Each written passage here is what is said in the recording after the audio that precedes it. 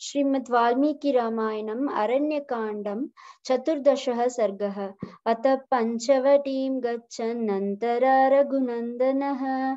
आससाद महाकायं गृध्रं भीमपराक्रमं, तं दृष्ट्वा तौ महाबागौ वनस्तं रामलक्ष्मणौ मेनाते राक्षसं पक्षिं, भ्रुवानौ को भवानिति। ततो मधुरया वाचा सौम्यया प्रीणयन्निव। उवाच वत्स माँ विद्धि वयस्यं पितुरात्मनः। सतं पितृसखं मत्वा पूजयामास राघवः।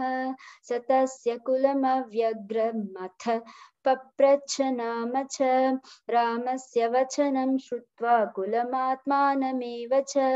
आचचक्षे द्विजैर्मयि सर्वभूतसमुद्भवम्। पूर्वकाले महाबाहो, ये प्रजापतयो भवन्। तान् मे शृणु।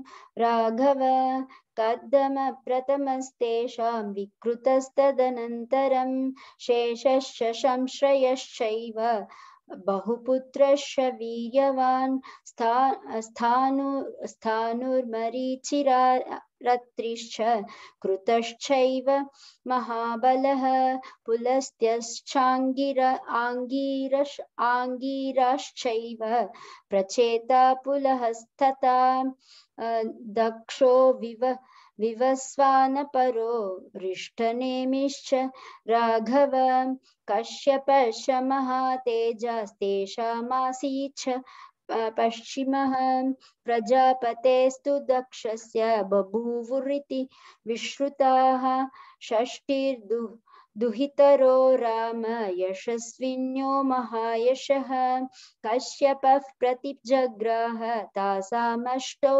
सुमध्यमाः अदितिं च दिदिं चैव धनुमपि च कालकाम् ताम्रां क्रोधवशां चैव मनुं चाप्यनलामपि। तास्तु कन्यास्ततः प्रीतः, कश्यपः पुनरब्रवीत्। पुत्रान् त्रैलोक्यभर्तॄन् वै जनयिष्यत मत्स्य मत्समान् अदितिस्तन्मना रामदितिश्च धनुरेव च। कालका च महाबाहो, शेषास्त्वमनसो भवन्। अदित्यां जज्जिरे देवास्त्र अस्त्रीषदरिन्दम आदित्या वसवो रुद्र, यश्चिनौ च प्ररन्तपदिति त्वजन यत् पुत्रान् दैत्यान् स्थात यशस्विनः तेषामियं वसुमती पुरासीत् समना सवनार्णवा। धनुस्त्वजन यत्पुत्रमश्व अश्वग्रीवमरिन्दम। नरकं कालकं चैव कालकापि व्यजायत। क्रौञ्चीं भासीं तथा श्रेणीं, धृतराष्ट्रीं तथा शुकीं। ताम्रातु सृषुवे कन्याः पञ्चैता लोकविश्रुताः। उलूकाञ्जन जनयत् क्रौञ्ची भासी भासान् व्यजायत। शेनाश मृद्रांश व्यजायत। सुतेजथ सुते तेजसः धृतराष्ट्री तु हंसांश कलहंसांश सर्वशः, चक्रवाकांश भद्रं ते विजज्ञे सापि भामिनी विजज्ञे तु नतायां विनता सुता दशक्रोधवशा राम विजज्ञे अप्यात्मसम्भवाः। मृगीं च मृगमन्दां च हरिं भद्रमदामपि। ता मातङ्गी, मतशार्दूलीं श्वेताञ्जसुरभिं तथा सर्वलक्षणसम्पन्नां सुरसां कद्रुकामपि।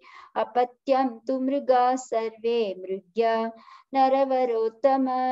वृक्षाश्च मृगमन्दाया श्रुमराश्चमरास्तथा तपस्वित तपस्वीरावतीं नाम जज्ञे भद्रमदासुतां। तस्यास्त्वैरावतः पुत्रो लोकनाथो महाय महागजः। ईर्याशहरयोपत्यं वानराश तपस्विनः गोलाङ्गूलश्च शार्दूली व्याघ्रांश्चाजनयत् सुमान् भामङ्ग्यास् त्वत् मातङ्ग मातङ्ग मातङ्ग्यास्त्वत मातङ्गापत्यं मनुजर्षभ दिशा गजं तु काकुत्स्थ, श्वेता व्यजनयत्सुतान्। ततो दुहितरो राम सुरभिर्देव्यजायत रोहिणीं नाम भद्रं ते गन्धर्वीं च यशस्विनीम् रोहिण्यजनम् अद्रावो मद्रा, यो यो, रोहिण्य, रोहिण्यजनयद्रावो, गन्धर्वीं वाजिनः सुतान् सुरसा जनयन्ना नागान्, राम कद्रुश्च पन्नगान्, मनुर्मनुष्यान् जनयत्, कश्यपस्य महात्मनः भ्राभृणान् क्षाव्य पैष्यान् शूद्रांश मनुजर्ष मनुजर्षभ मुखदो ब्राह्मणा जाता उरसक्षत्रियास्तथा ऊरुभ्यां जज्ञिरे वैश्या पद्भ्यां शूद्रा इति श्रुतिः। सर्वान् पुण्यफलान् वृक्षान् अनलापि व्यजायत विनता च शकी पौत्री।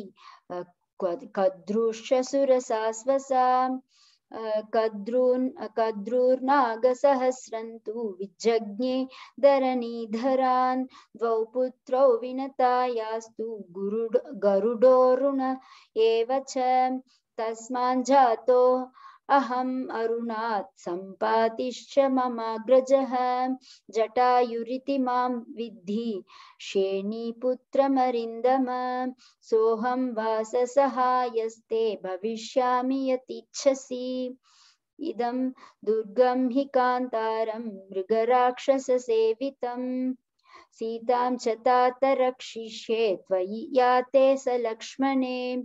जटायुषं तु प्रतिपूज्य राघवो, मुदा परिष्वज्य च सन्नतो भवत् पितुर्हि शुश्राव सकित्वा सकित्वात्मज आत्मवान् जटायुषा सङ्कतितं पुनः पुनः।